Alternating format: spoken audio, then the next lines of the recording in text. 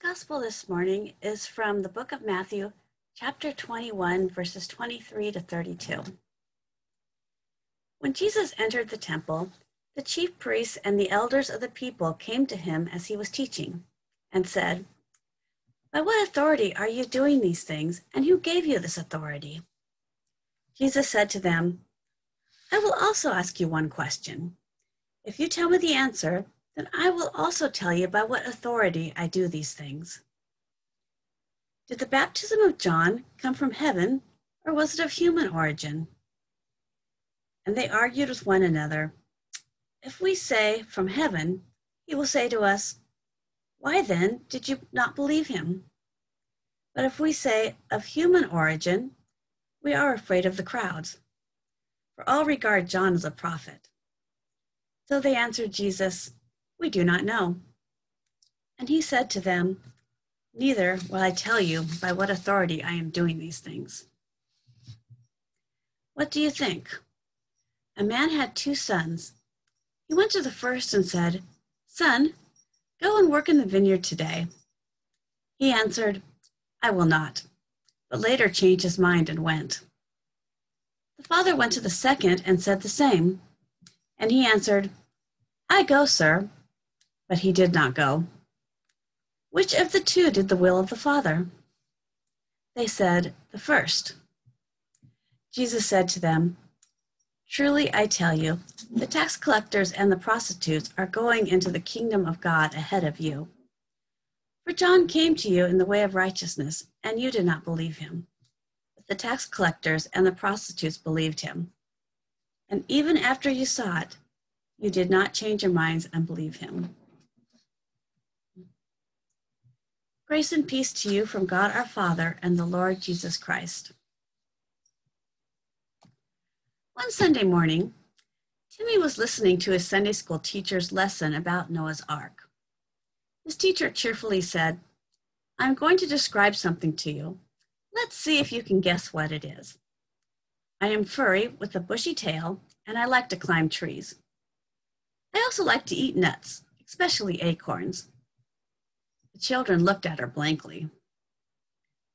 The teacher then added, I'm usually brown or gray, but I can be black or red. More silence. Finally, little Timmy spoke up. I know the answer is supposed to be Jesus, but it sure sounds like a squirrel to me. Every day we are faced with questions, dozens of decisions. Yes, no, maybe. Our daily lives are filled with questions big questions, little questions, mundane questions, and major life questions.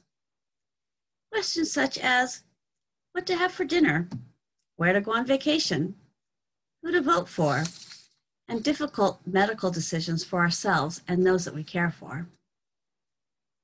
Our gospel reading this morning is full of questions, too. This story comes just after Jesus' triumphal entry into Jerusalem on a donkey. He did not arrive quietly, but was surrounded by crowds shouting, Hosanna in the highest heaven. Then this procession headed straight into the temple, where Jesus drove out the vendors and welcomed people in need of healing, as well as children who cried out, Hosanna to the Son of David. The religious authorities were not amused. From their point of view, Jesus was an insolent, false prophet who was upsetting the status quo. Not only that, but he had convinced the crowds that he was the Messiah. This was blasphemy in the minds of the temple leaders. The chief, ple- the chief priests had had enough. They approached Jesus and asked, what right do you have to do these things? Who gave you this authority? Their questions were designed to entrap Jesus and undermine his authority. Jesus responded to their questions with an unanswerable question of his own. When they replied, We don't know, Jesus told them, Then neither will I answer your question. Imagine that the crowds were listening in delight as Jesus began to tell the religious authorities a parable. This parable started with a question What do you think? a man tells his two sons to go outside and finish raking up the maple leaves that are fallen all over the lawn. The first son says, No, I'm almost to the next level in Minecraft and I can't stop playing now. The man went to find his other son and asked him to go outside to rake the leaves. The second son says, Sure, Dad, no problem. I'd be glad to do it. But he never does any of the work. Meanwhile, the first son starts thinking about his dad's request and decides that he can finish up his game later and goes outside and rakes up the leaves. Which son did the will of the father? They answered, The first, the one who changed his mind. So Jesus said to them, Well, let me tell you something. The drug dealers and the prostitutes are going into the kingdom of God ahead of you. After all, John the Baptist came to show you the right path to take. And you would not believe him. But the drug dealers and prostitutes believed him.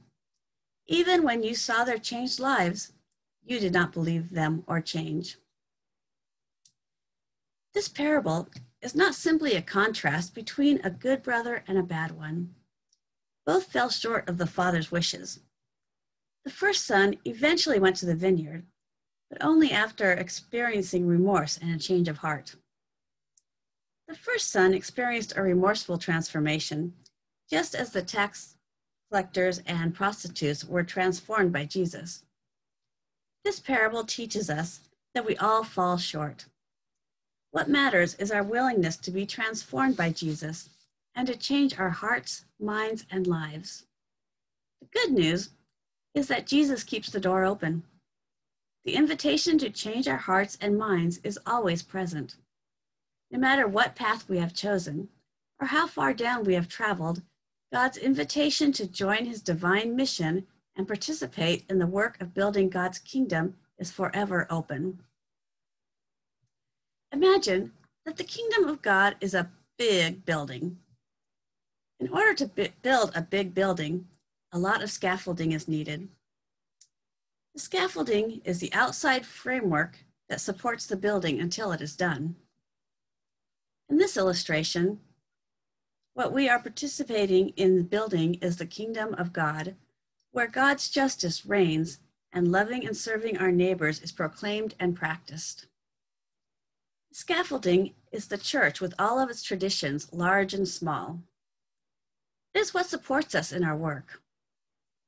This scaffolding can range from the important things that help us to grow our faith, the creeds that we profess, the prayers that we share, the way that we teach and study scripture, to the plentiful small bits of scaffolding.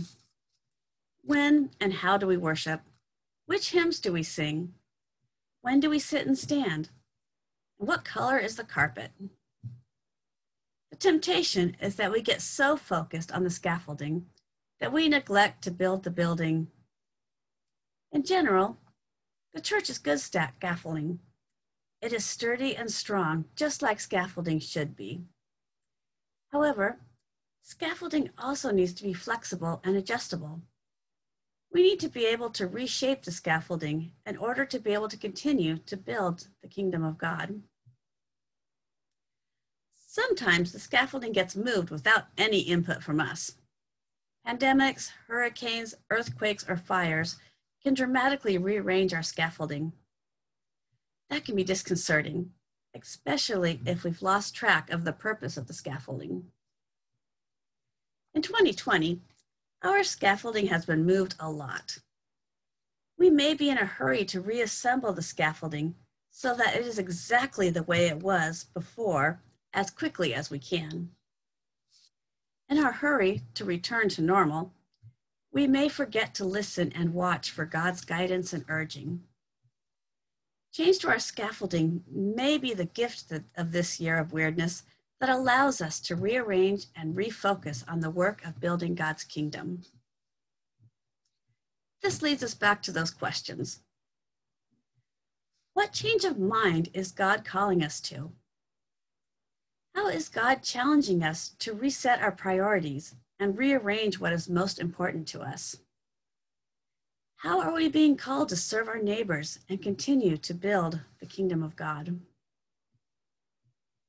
The good news of the gospel is that we can say yes to God because God first said yes to us. God said yes to humanity when Jesus came to bring his forgiveness and redeeming grace to the world. As a church family, we can help one another to listen more carefully to the Holy Spirit's urging and encourage one another in the ways that we say yes to God.